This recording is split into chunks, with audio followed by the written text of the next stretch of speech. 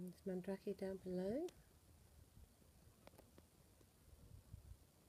The totally unpronounceable monastery, not Nicolaus, because if you go along here, all of that land there, and then up towards the top of that mountain, and then down on the other side to Limioniza, I think, and that monastery in the middle of the picture there is Nicolaus.